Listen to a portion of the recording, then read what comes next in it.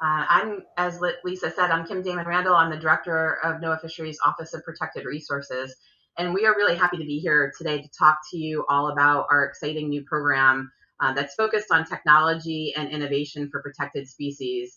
And we refer to it as ASTER, or the Advanced Sampling and Technology for Extinction Risk Reduction and Recovery. Long title. Um, so we've been working on developing the ASTER program for about a year or a year and a half or so. Um, and this idea actually stemmed from a protected resources board meeting that we had um, back in December of 2022, uh, where NOAA Fisheries Assistant Administrator Janet Coit joined us, and she challenged us to come up with a big, bold idea for protected species. The P Protected Resources Board is composed of leadership from the Office of Protected Resources and the Office of Science and Technology, the Assistant Regional Administrators for Protected Resources um, from NOAA Fisheries regional offices, and the Science Lead for Protected Resources from each of the science centers.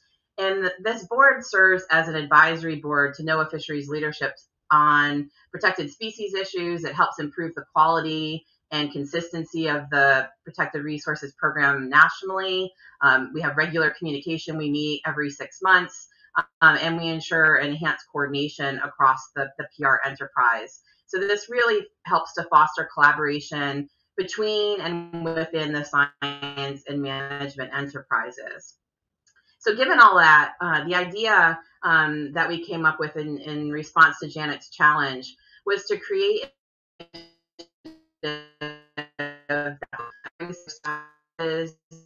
and the science centers to collaborate on tackling some of the biggest challenges that confront our protected species today uh, using innovation and technology. So this is an effort that is very tightly linked between our science and management enterprises. Um, there isn't any dedicated funding for it yet, um, but we do have funding um, for innovative technologies through things like the Inflation Reduction Act. Uh, and if you're not familiar with IRA, uh, this is temporary funding, but it's really being used to make uh, truly transformational investments um, in things that we're doing um, for um, areas under our jurisdiction at NOAA. so Aster came about at a really great time um, because of this IRA investment and the focus in innovation and technology. So if we can stand up our Aster program and highlight all the investments that we're demonstrating across the country, we feel this will benefit everyone as opposed to everyone having to do these as individual efforts. And this is really the time to focus on how we can maximize the use of innovative technology to prevent extinction. So as you'll hear from Lindsey, the program is, is comprised of six strategic themes, and each of those is really important. Um, and it, together um, with the kind of the center of our aster flower, uh, we're really focused on how we can use innovation and technology for extinction risk reduction and recovery, or the three R's as we refer to them. And that's really the, the full focus of the program. And this is important because, as everyone knows, extinction is forever. Um, these three R's, reducing extinction risk and promoting recovery of protected species, are designed to ensure that we don't lose any of our important resources on our watch. Um, so this program is really important to us. Uh, we want to um, talk to you all, share with you what we're doing. We know there's a lot of, of technology across NOAA uh, that we can collaborate on. Um, so we're very excited to roll this out to you today and answer any questions that you have. So I'm going to turn it over to Evan uh, for some opening thoughts, and then Lindsey's going to walk through the program. Thanks. Great. Thank you, Kim. Uh, again, hi, everybody. Thanks for coming today. My name is Evan Howell. I serve as the director of the, the National Marine Fisheries Service Office of Science and Technology, and I am the co-lead with Kim of at the Aster project. As Kim was mentioning, as we were creating Aster, we were lucky enough to receive in National Marine Fisheries Service Inflation Reduction Act funding to really help us transform into a climate-ready fisheries. And when we say fisheries in the National Marine Fisheries Service, we talk about actual fish, but also a major part of our mission is the protecting and the uh, of the protected resources that we have uh, in our jurisdiction. There were a few points on IRA I wanted to touch on. As Kim said, these funds are short term and they need to be obligated by the end of FY26. Um, in this way, we were able to use these funds really act as a rocket booster for us for advanced technologies and new approaches on national initiatives and region specific protected species like right whale. So the investments in IRA help us really target what we want to make these investments in. And the way that we chose to do the, a big part of this is through advanced technology, and we stood up what we call strategic initiatives in our omics, active acoustics, passive acoustics, our optical systems, remote sensing, and our uh, un- uncrewed systems. In these ways, these investments in advanced technologies across these six were ways that we felt that we could either accentuate, accelerate, or operationalize our ability to use these in our fisheries mission. So what you'll see in the presentation, you know, the six that I describe in these strategic initiatives, omics, active acoustics, passive acoustics, et cetera, and the aster themes that you'll see in, in the flower design, they have a high degree of potential and actual crossover regarding this focus on advanced technology, specifically the advanced technologies in these petals. This is good. And we could think about these two as having the same focal area through the IRA investments as well as the Aster plan, but each is coming at it with a different lens. Aster really does zoom in on the protected species applications in these strategic initiatives, advanced technology investments. And so some of these were either existing or we're accelerating them or areas for potential application. Aster also brings in a direct tie to management for these science initiatives that will help align, align the planning of these strategic initiatives and the execution by providing input to and testing the output from these initiatives as we're going through it. The science with management is an important component of this Aster focus. And so, overall, through this IRA investment to accelerate our advanced technology adoption in fisheries, through these strategic initiatives and the protected species and management focus in Aster, we're working to ensure that coordination and support to operationalize these advanced methods to meet our mission goals, as Kim said, to reduce the extinction risk and promote recovery for our protected resources under our, our management jurisdiction. So with that, I am going to turn it over to Lindsey and welcome, and I hope you enjoy the presentation.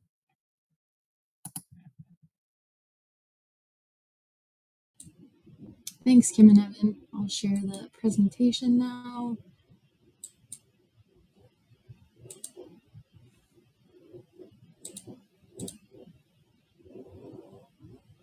Okay, looks like you all can see that. Yep, looks great. Awesome. So, hi everyone. Um, thank you so much for being here. Um, it means a lot that you would take your lunch hour to listen to um, our program and uh, hear about what we're really excited about sharing this information on, on how it's being built. My name is Lindsey Stadler. I work in the Office of Protected Resources. I'm the ASTER coordinator, and I'm really excited to tell you um, about our risk reduction and recovery program for protected species.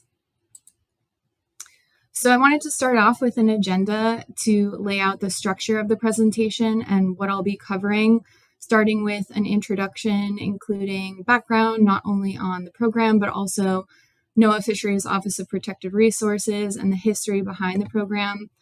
Um, then I'll get into the details of the program with an Aster 101 approach. Um, I'll talk about where things are now and the forward looking vision. Um, and then we'll have some time at the end for questions and discussion. Um, and before I dive into things, I kind of wanted to set the stage as um, we've been mentioning that this program launched recently um, in 2023 and is in a development stage. Um, and we're here today to hopefully plant the aster seed, um, which is fitting since aster is actually a type of flower.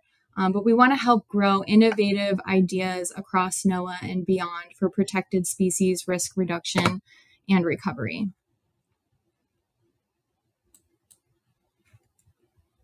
So the Office of Protected Resources and Office of Science and Technology are within NOAA Fisheries, whose mission is to provide stewardship of the nation's ocean resources and their habitat, providing vital services for the nation, all backed by sound science and an ecosystem based approach to management,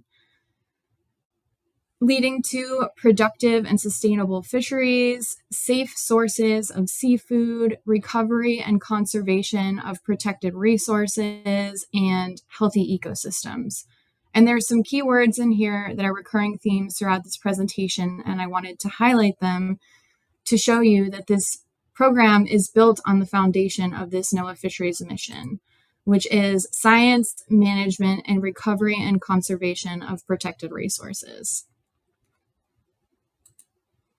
So, what do we mean by protected resources? These are protected species and their habitats that are protected under the Endangered Species Act um, and or the Marine Mammal Protection Act. Protected species under NOAA fisheries jurisdiction include marine mammals like dolphins, porpoises, whales, seals, and sea lions. And Endangered Species Act listed marine and anadromous species like sea turtles, some corals, some abalone, certain sturgeon, many salmon species, and various sawfish species. And under the Endangered Species Act, um, which recently celebrated its 50th anniversary, so happy 50th to the Endangered Species Act, um, we are responsible for the conservation and recovery of more than 150 endangered and threatened species. Our work under this important piece of legislation includes listing species in the first place under the Endangered Species Act, um, monitoring species status, designated critical habitat to protect where they live, um, recovery of endangered and threatened species, um, developing policies, guidance, regulations, as well as working with partners.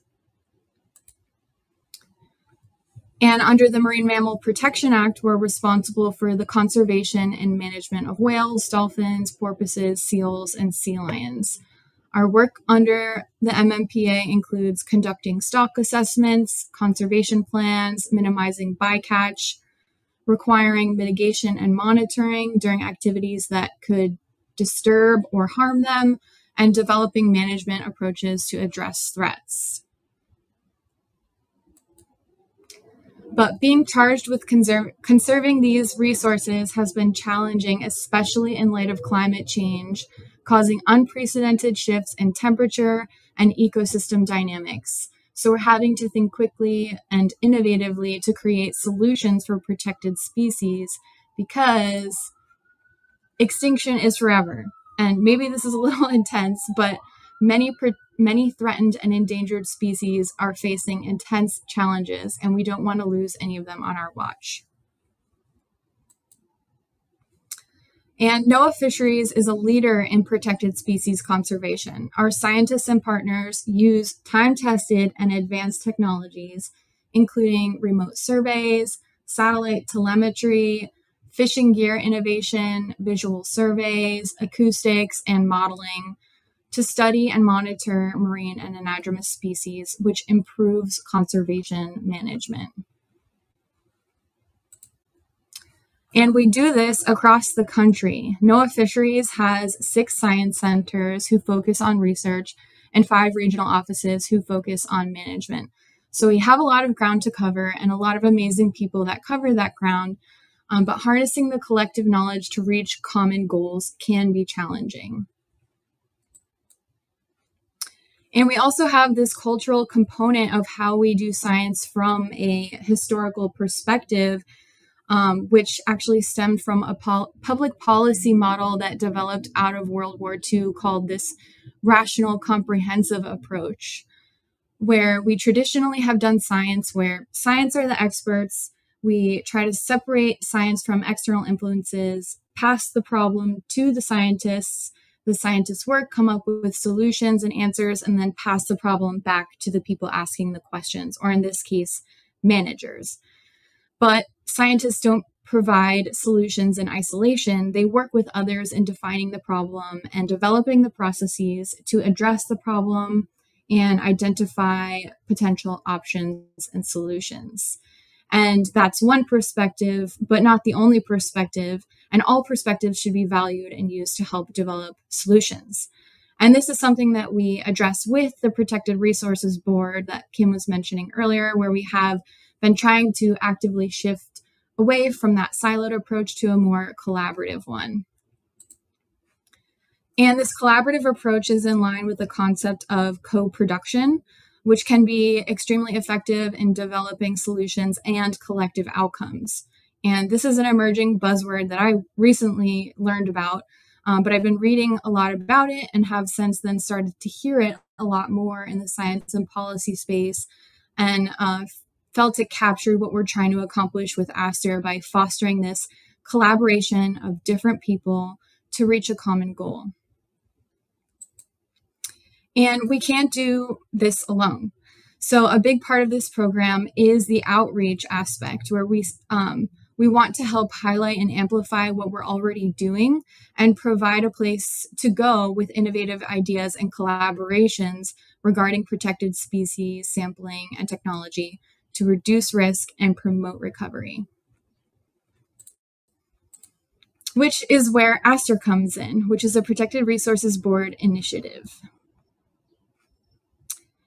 And all of life is what lens you see it through. So this program takes all of that information into consideration and sees things through this specific lens, a risk reduction and recovery perspective for protected species.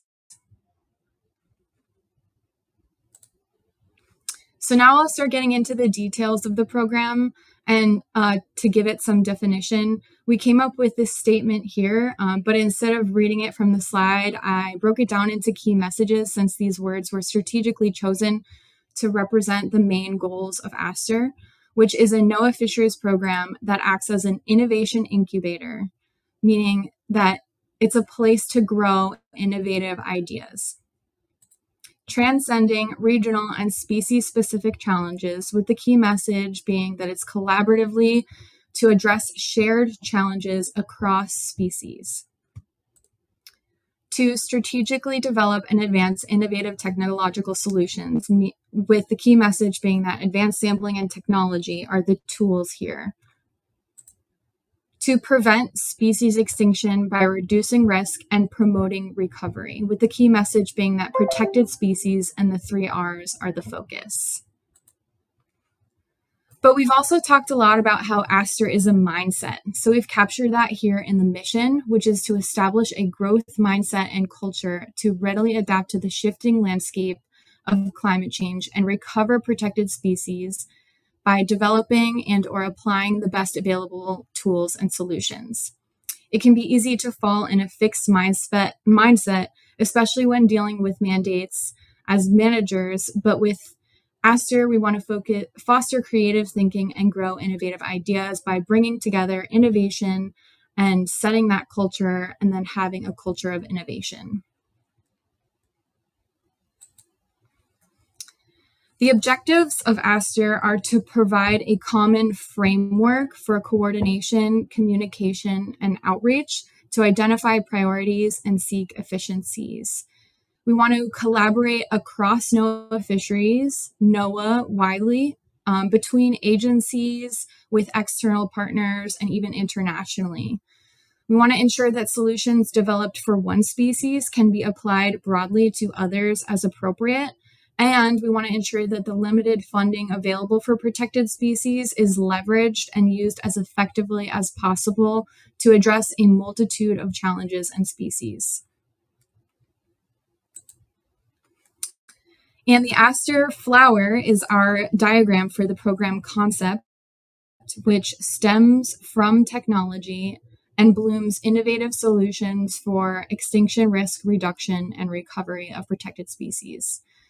The petals represent the current strategic themes the initiative focuses on furthering, including artificial intelligence and machine learning, uncrewed systems, advanced statistical methods, acoustics, omics, and imagery. And there's intentionally overlap to represent um, interpetal synergies and the connection there.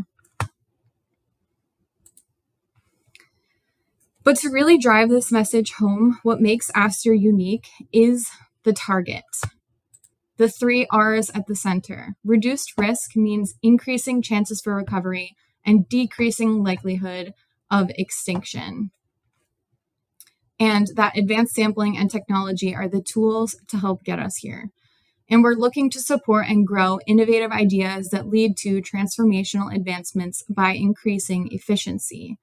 And an example of this is using generative artificial intelligence that can help us produce documents that, that help us meet requirements under the Endangered Species Act, freeing up time to focus on other things that will help us further the NOAA mission.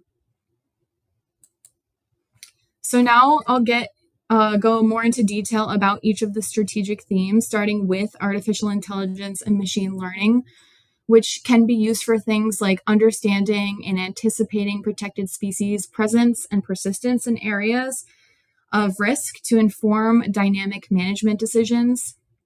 An example of this is being able to detect animal vocalizations from acoustic recordings, which is the image that we're seeing on the left. This is a spectrogram from an acoustic recording, and those green lines are the vocalizations from whales.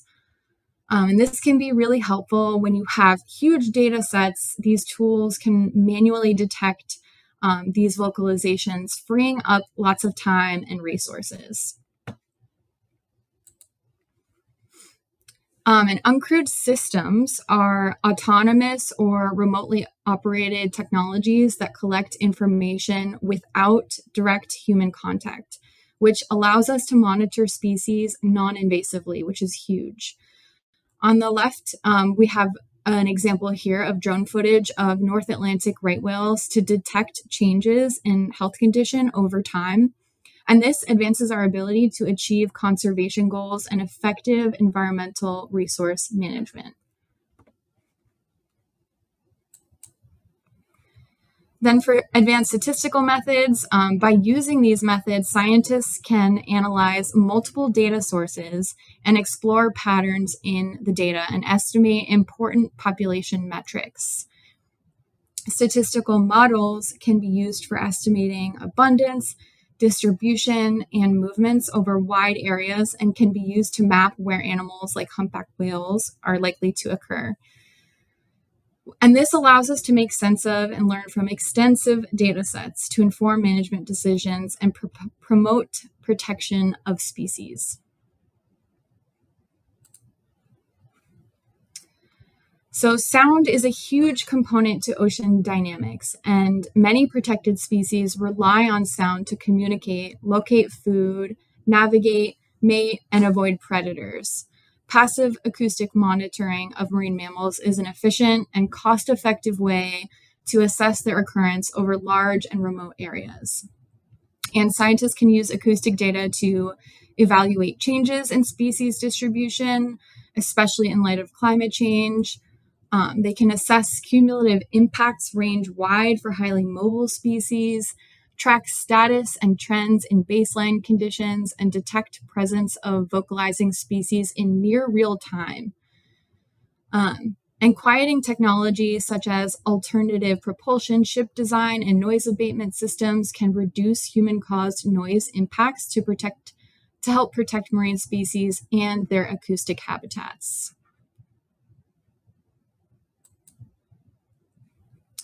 Um, and advanced sampling and omics are uh, biology disciplines focused on molecular processes in cells and tissues.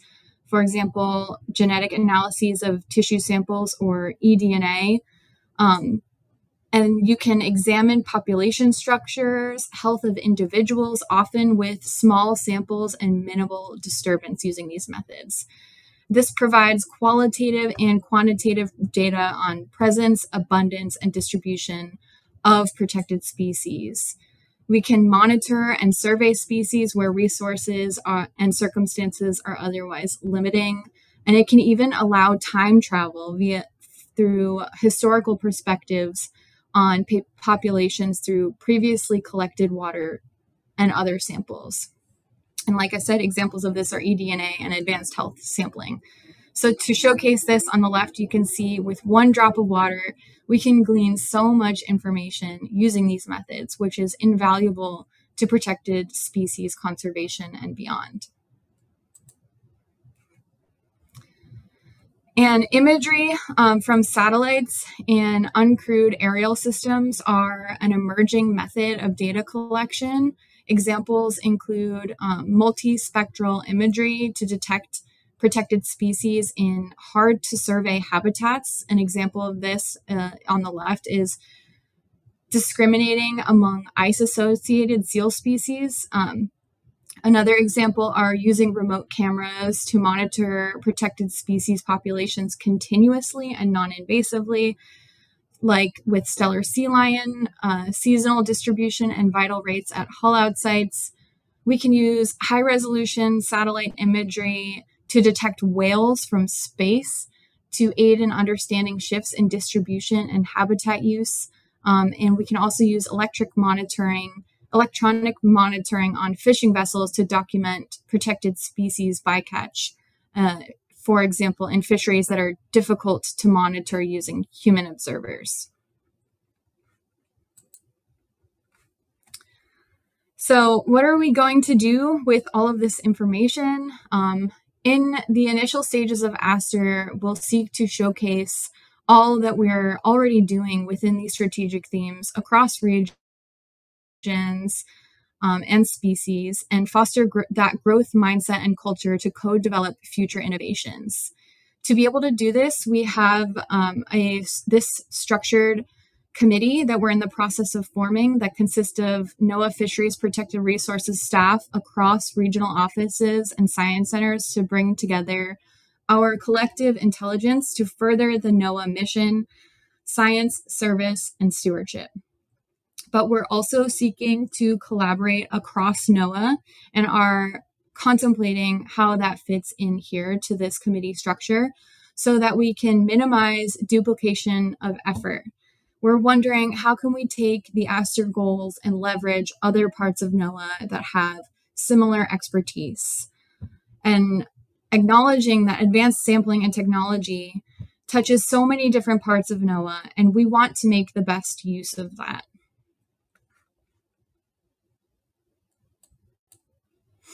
And as I mentioned, um, we are in the process of developing the program. We have been working with a phased approach um, and currently are in phase three, where we're operationalizing and developing the implementation plan, where eventually we will move into the fourth phase and have this continued implementation, coordination, and collaboration.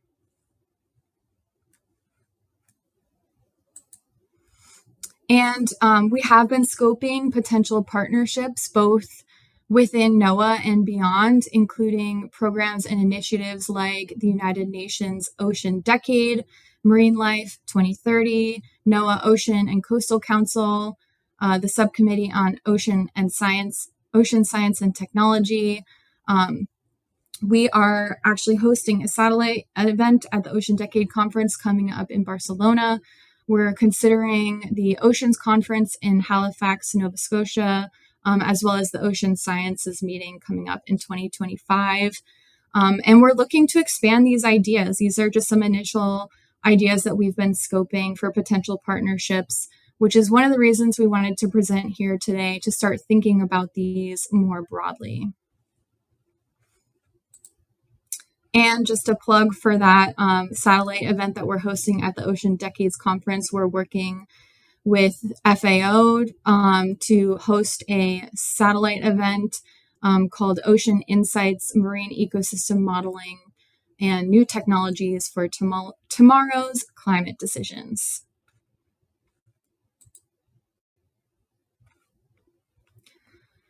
And as we continue to develop the program, we envision building more connections by engaging in outreach opportunities like this one. Um, it's awesome to be able to present um, at the with the NOAA Central Library. So thank you for this opportunity and thank you for attending today.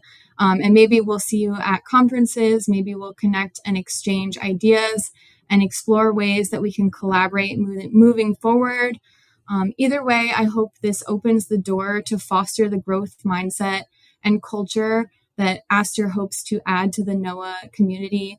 Um, whether you're in protected resources, NOAA fisheries, NOAA broadly, other agencies, tribal groups, or beyond, we see value in diverse perspectives. And we see the benefit of prevent- presenting to you today uh, while we're still in the developmental stage to gain those perspectives early on to minimize duplication of effort whenever we can. Um, and my advisor in grad school had this quote at the bottom of her email signature. And at first, it used to make me feel really anxious because in grad school, I always felt behind and like I wish I had started six months ago. But this message has really stuck with me. And I still think about it a lot because it applies to so many different things and encourages me to get started on things, even if they don't feel fully formed, because six months from now, you'll wish you started today. So thank you, Katrin. so, in summary, the main messages that I hope you walk away with are what this program even is, which um, which is a risk reduction and recovery program for protected species using advanced sampling and technology. Um, that this is a program that brings together science and management nationwide through co production, um, and that we're seeking to build out our network within NOAA. So we hope to hear from you, and we hope you are as excited as we are about the endless possibilities that ASTER presents. And thank you to everyone that's helped uh, develop this program, this presentation, and beyond. And thank you again all for joining today. Um, please feel free to reach out. I have my email listed there. And also, there's a QR code uh, for the web page that we've posted if you want to check that out um, to see some more details on the program. And thank you for your attention. Thank you so much, Lindsey. I really appreciate your presentation. Um, go ahead and and uh, get ready for for our questions and answers by putting your webcam on. Excellent. All right, so audience, we have uh, a few minutes to answer your questions and we would love to hear them. So please type them in the Q&A chat and I will uh, share them with our speakers. You're able to ask questions anonymously. I, I, mentioned that in the beginning. We just have to toggle to the very bottom of the uh, Q&A tab and uh, push the uh, anonymous button if you prefer to not your name not to show up on the screen. And a quick reminder, this presentation is uh, being recorded and will be available on the NOAA Central Library YouTube channel later today in case you might know someone who couldn't join us and who would be very interested in hearing more about uh, the ASTER program. So um, I'm waiting for some questions. And But again, thank you so much for the presentation and the excellent introductions as well. And let me uh, add the link to our YouTube channel in case anyone wants to share this. And, and Lindsey, go ahead and add your email address in case anyone wants to grab that and ask you a question later on. Here's our first question. I'm going to send that to the Sheen. It asks, it says, thank you all, great talk. I recognize you're at the fourth stage of implementation and it is ways out, but when it's finally implemented, how do you envision participants will interact and share knowledge, workshops, seminars, etc.?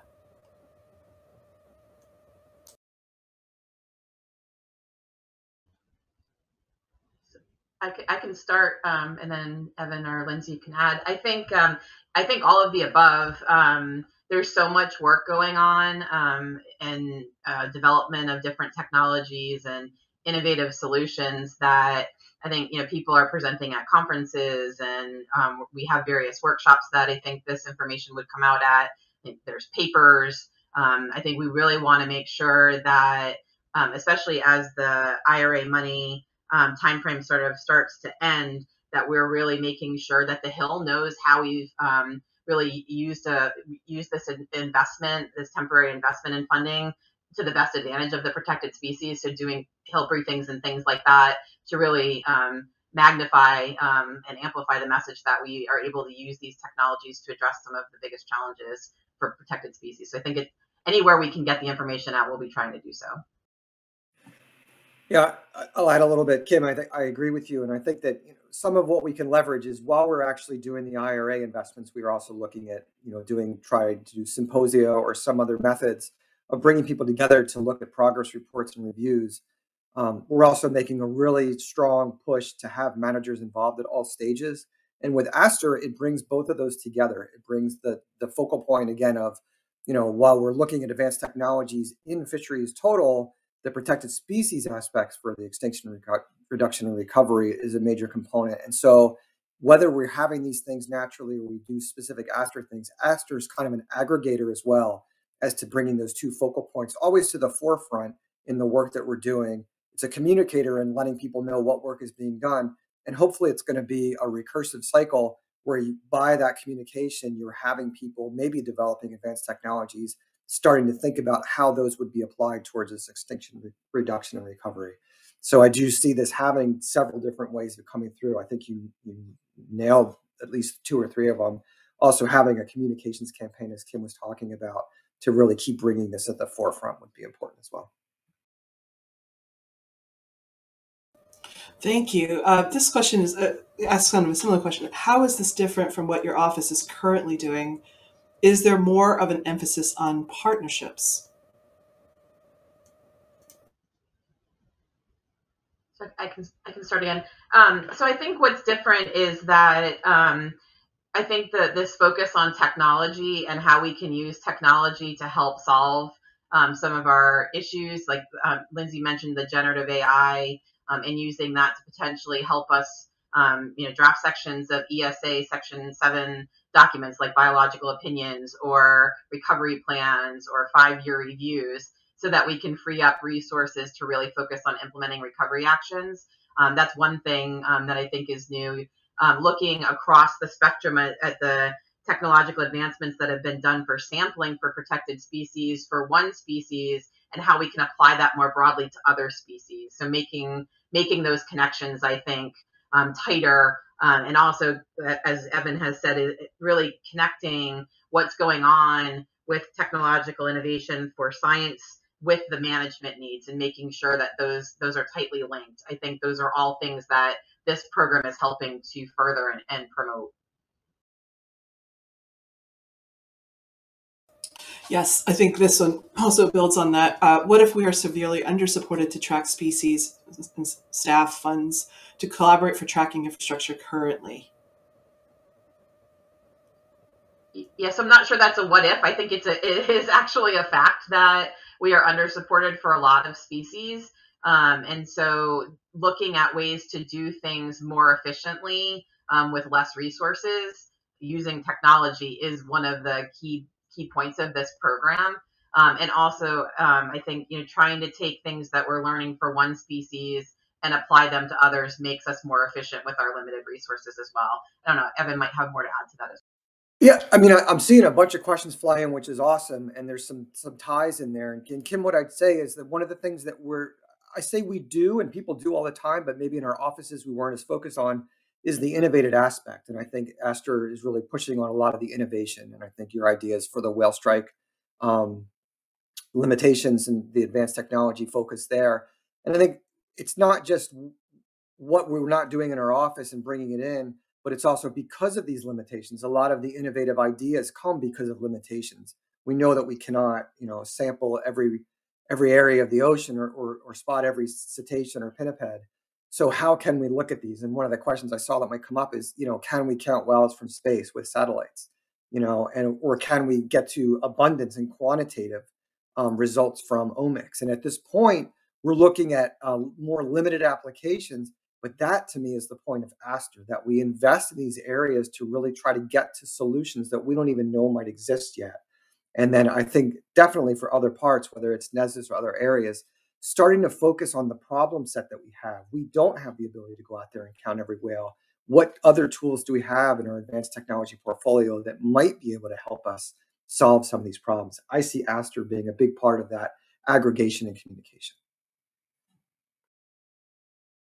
This uh, question asks uh, How can other parts of NOAA collaborate with Aster? Yeah, that's a, that's a great question, and one of the reasons why we wanted to have this uh, this lunch and learn. Um, you know, we're working actually on um, a, a, new communication system using AIS, um, working with the Coast Guard to um, send out alerts to mariners about our seasonal management zones for North Atlantic right whales. Um, and I could see there's definitely um, some benefit to that for weather alerts and things like that. So I think there's there's lots of things that we do broadly within NOAA um, that we can be collaborating on on these advanced um, technologies. So if you have ideas, please let us know. Lindsey put out her her email. Um, I, you know, I think you can look for for Evan and my emails. We we want to make those connections and make sure that we're working tightly within NOAA on all of these technological advancements. One thing I'd add, and maybe Lindsey, I don't know if you have anything to add, is that as we form the teams, you know, we're we're looking first within fisheries for some of the, the participation within the teams on there. But if you are working in any of the areas of the pedals or you have other technology that you feel, as Kim said, please do reach out to Lindsey and that we could make sure that we've got that connection made. Um, this next question asks, is the data you can gather from a single water sample mostly qualitative? Uh, yes, there was the species here at some point, etc. Or are there qualitative data also?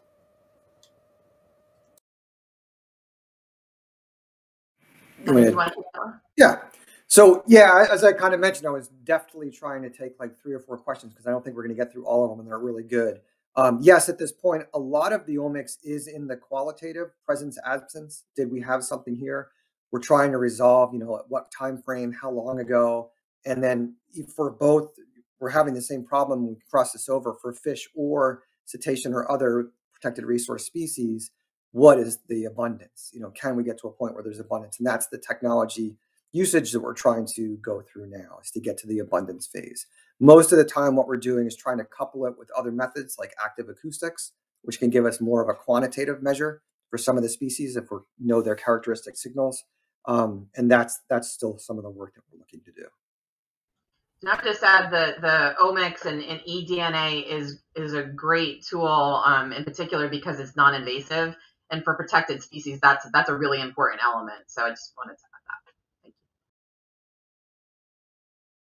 you. Will Aster have calls for funding in the future to support some of these proposed collaborations?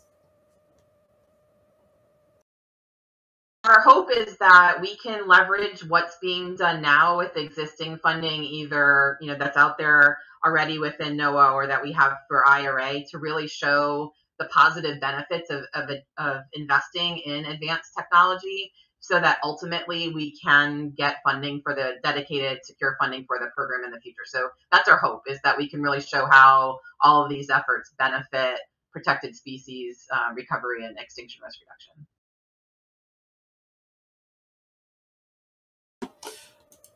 Um, I'm going to add this question here. I think this might be the last question, but we do have other questions as well, which I will make sure the speakers get after the presentation. Um, this question asks, I'm in NESDIS and we have low Earth orbit and geosynchronous orbit satellites. We have been approached by a company that believe they could actually pick out individual whales from space. Is this something you see possible? Yeah, I mean, Evan, you can probably speak to this more. I know for North Atlantic right whales, this is something that we are looking into, and um, it, it, looks very promising. There's some issues with, you know, cloud cover, so weather can, can affect it, but I do think that it's possible. Evan, I, turn it to you to answer more. Yeah, I think that for any any species that we're looking at that either hauls out or does breathing at the surface, there is the ability. It's all a matter of the the satellite resolution and what we're able to detect.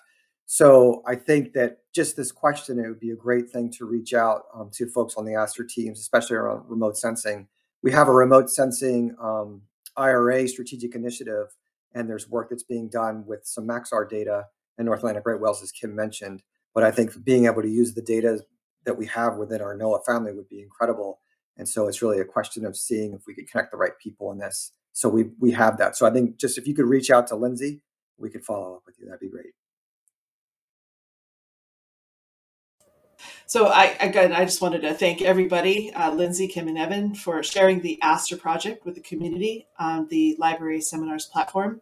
And audience, uh, NOAA Central Library appreciates that you joined this library seminar, and we encourage you to join us again for future webinar events featuring NOAA Science.